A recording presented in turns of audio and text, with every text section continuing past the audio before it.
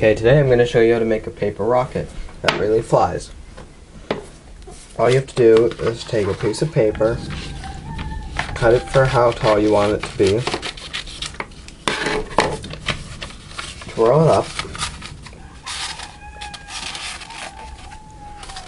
like so, and tape it. But luckily, I've already got one pre And here it is, all taped together. Then what you're going to want to do is do the same thing for fuel ejectors. Like this. Luckily, I already have some pre-made. You want two of them, and I'll tape them on right now.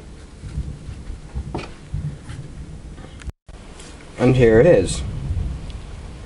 Now what you can do is decorate it with a marker. Now it looks a little bit more professional. And what you can do is add some exhaust, which can be done with a fruit roll-up wrapper. All you have to do is rip it in half.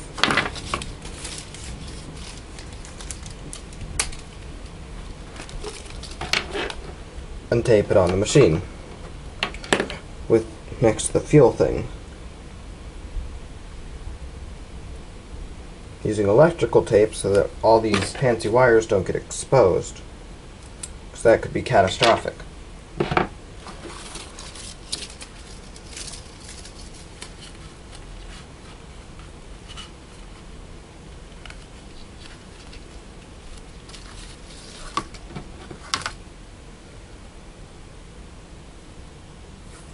It's a good idea to use electrical tape.